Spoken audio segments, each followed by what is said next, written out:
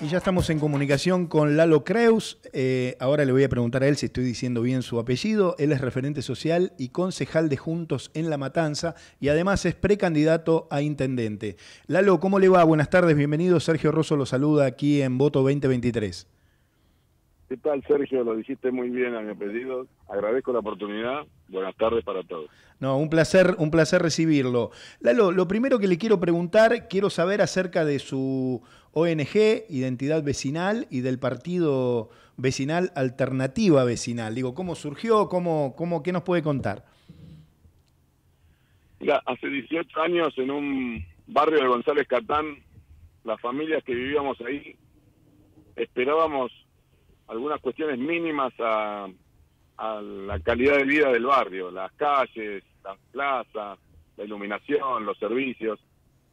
Y peticionamos y gestionamos y finalmente, al igual que pasa en gran parte de la matanza, terminamos los mismos vecinos reuniendo recursos, poniendo el lomo y haciendo cosas que debería hacer la gestión municipal, por el barrio, por los niños, por el deporte, por la cultura y de esos proyectos empezamos a darnos cuenta que, por un lado, que no teníamos que esperar más nada de la, de, del intendente, que claro. increíblemente sigue siendo hoy el mismo intendente. Y por otro lado, nos dimos cuenta que esa, esa unión nos daba fuerza para hacer muchas cosas. Y ahí decidimos fundar una ONG que ya tiene 18 años y que de aquel barrio donde empezó ya está en 57 barrios con 57 sedes y tiene una, una oferta muy diversa de proyectos muy interesantes, tiene 5.000 vecinos que la integran, construyó y tiene funcionando un jardín de infantes Montessori, una escuela de oficios, una escuela primaria para adultos, una escuela secundaria para adultos, tiene una liga de fútbol de 22 clubes. Qué interesante. Y, y un montón de proyectos, y entre otras cosas, lo novedoso en nuestro caso es que como no podíamos interactuar con el Estado y la escala de nuestros proyectos decía permanentemente, era muy difícil sostenernos y no queríamos depender de ningún jefe político ni nada por el estilo. Entonces, un día empezamos a crear empresas y hemos mm. creado siete empresas que generan empleo, que brindan, ofrecen servicios y, productos, y de ahí salen las ganancias con las que se sostiene nuestra ONG. O sea, creamos un, un círculo de, de ayuda mutua donde proyectos que impactan en los niños y no generan ingresos son subsidiados por proyectos que generan empleo y ganancias. Lalo, qué, qué interesante todo lo que está contando, digo que mm, digo desde, desde aquí, desde, desde el sector de, digamos, de, de, la comunicación, digo que alguien esté eh, tan involucrado en el, en, terreno y, nada más y nada menos que tenga ganas, tenga ganas de, ser eh, intendente de un, de un municipio tan grande como La Matanza y que está gobernada de manera interrumpida por el peronismo desde 1983. Digo, ¿qué, qué, ¿cómo se hace? Eh, ¿Se tiene fe? Yo tengo mucha fe a la gente que se cansó y que se cansó hace mucho tiempo y que hace mucho tiempo está buscando el camino para que esa realidad cambie.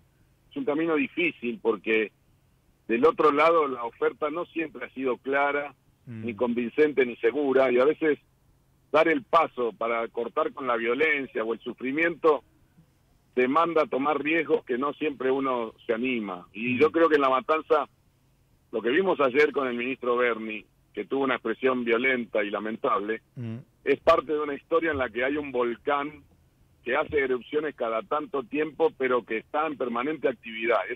y es hartazgo. La gente está harta en la matanza, no quiere más lo que está pasando y está buscando la alternativa. Por eso nosotros, contrariamente a, a lo que pasa, que a veces parece que la gente no quisiera hacer nada con los políticos o con la política, nosotros en un año y medio acabamos de fundar un partido político vecinalista con 4.700 afiliaciones. Absolutamente. la gente está buscando dónde participar.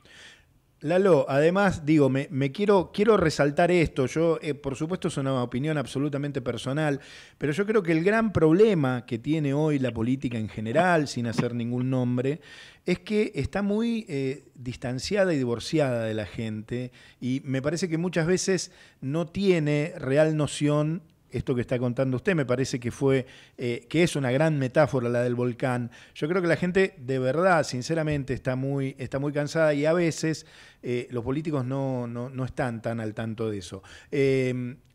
bueno, con todo el, trabajo de campo que usted ha, contado, digo, me da la, me da la sensación que claramente es la, es la, alternativa, ¿no? Sí, eh, durante mucho tiempo se ha, se ha hecho fuerte un sistema que está en decadencia y está a punto de perder el poder otra vez y que se basa en, en utilizar el sufrimiento y la dependencia y manipular los recursos públicos para su propio interés. Bueno, eso trae varios efectos. Uno de esos es que los militantes y los dirigentes de esa expresión política terminan corrompiéndose de tal manera que hasta se alejan de sus orígenes y del territorio. Por lo tanto, la gente que si bien sufre abandono y un montón de necesidades, un caos organizado y está abandonada, está literalmente abandonada. O sea, ya no hay patrones de estancia, ya no hay dueños territoriales, ya no hay punteros que puedan someter a la gente por sus necesidades, se fueron. Bien. Es hora de que en esos territorios la oposición sea capaz de construirse y para eso hay que estar al lado del sufrimiento, entenderlo, vivirlo. Yo hoy estuve acompañando a los familiares en el velatorio mm. y pienso estar en cada lugar que pueda y creo que ahí es donde tenemos que estar, al lado de la gente. Sin lugar a dudas. Estamos hablando con Lalo Creus, él es referente social y concejal de Juntos en La Matanza y además precandidato a intendente. Lalo, como sabe, el tiempo en radio es tirano, pero le prometo que lo vamos a volver, que lo vamos a volver a llamar, pero quiero despedirme con preguntándole cómo está hoy la interna de Juntos en La Matanza. Digo, ¿cómo, cómo, ¿cuántos candidatos hay? ¿Cuántas listas? Mira, te dar dos datos. Uno, el Frente de Todos sacó 330 mil votos en la elección del 2021. 330 mil. Sí. Y en La Matanza hay 1.150.000 votantes. Eso te habla de cómo está el Frente de Todos. Bien. Y en este momento ellos tienen una interna muy fuerte donde ya hay dos candidatos para La Matanza. Uno es Espinosa, el otro es la señora de Pérsico. Del lado de Juntos sí. estamos unidos, tenemos varios posibles candidatos, puede ser Toti Flores, puede ser Alejandro Finocchiaro, hay gente del radicalismo. Está re bueno que haya oferta, que haya eh, gente que tenga expectativas. Tenemos que resolver eso para poder darle a esta oportunidad que nos brinda la gente que se cansó, una propuesta unificada, fuerte, consolidada, respaldada a nivel nacional, porque en La Matanza hay una oportunidad real y no tenemos que desperdiciarla.